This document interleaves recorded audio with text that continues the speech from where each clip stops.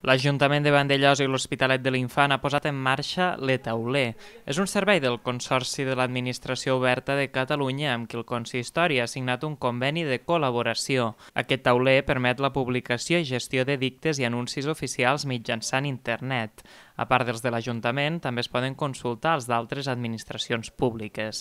El nou tauler electrònic és accessible les 24 hores del dia i els 365 dies de l'any des de la pàgina web de l'Ajuntament i també a través de les pantalles informatives tàctils que s'han instal·lat a l'Ajuntament de Vandellós i a la Casa de la Vila de l'Hospitalet. A més, també es preveu posar-ne als casals de Marriudoms i de Masboquera. A l'Etauler s'hi poden trobar també les juntes de govern local, l'agenda d'actes, les notícies d'actualitat, el temps o informació turística, entre altres. Amb aquest servei es pretén millorar l'eficiència de l'administració local i l'eficàcia i la transparència de la informació pública.